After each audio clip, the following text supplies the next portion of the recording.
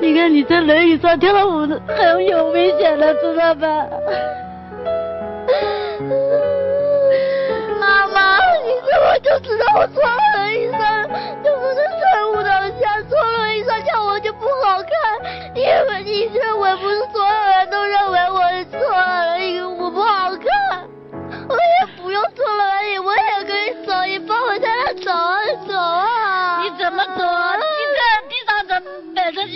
你别人矮一姐，你知道吗？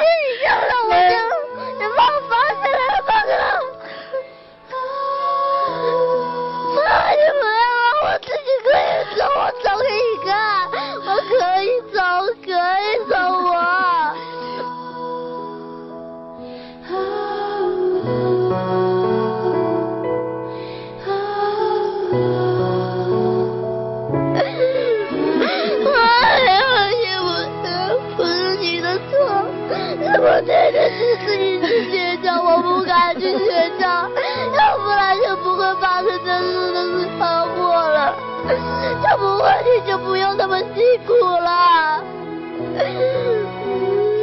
一定要听话，知道吧？不要依靠轮椅，因为轮椅要一辈人走，有人伺候，有人管你呀、如果妈妈走了，那怎么办？谁照顾你？谁照顾你？等到一天妈妈死都不瞑目啊，知道吧？一定要比别人要坚强，一定要比别人要。来来来，起来起来，起来起来起来起来，OK，我把他抱起来，来来还让他坐让他坐让他坐轮椅上，让他坐轮椅上。其实女儿想让你不要抱她，其实正是她独立生活的开始。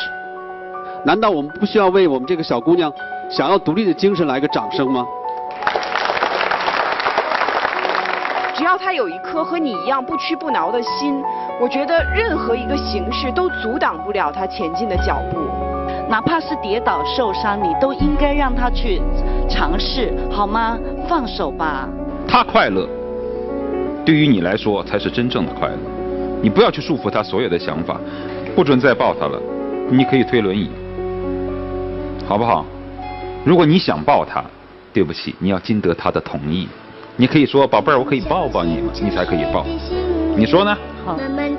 最终，在大家的劝说下，张水香答应女儿蒋章子怡，在今后的生活中尊重她的想法，用轮椅来代替怀抱。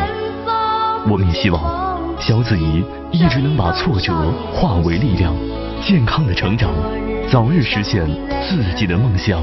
所以我们希望现在的一些高科技的一些企业，包括一些机器人企业，呃，生产或者是销售的，可以联系我们栏目组，或者您愿意帮助一下蒋章子怡，给她装上一副义肢，或者是献出自己的一份爱心，都可以联系我们栏目组，好吗？我们希望更多的人来帮助她。谢谢。行，现在让妈妈推着你回去吧。从明天开始，开始自己独立的生活，好吗？好。哎，你让他自己，你别动，你让他自己转身，他可以的。下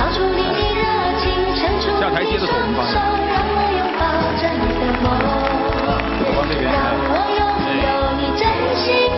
好，靠自己，自己回去。再见。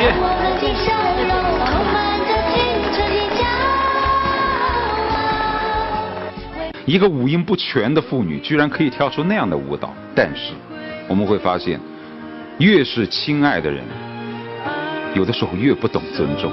恰恰是因为太爱了，所以把我的想法强加于你的想法之上，认为这就是爱你。但其实，我们要记住，越是相爱的人，越要懂尊重，啊！完美告白，爱就要大声说出来。这里是由珍珠美白养肤专家金润珍珠独家冠名播出的辽宁卫视《完美告白》，谢谢大家的陪伴，下期节目不见不散。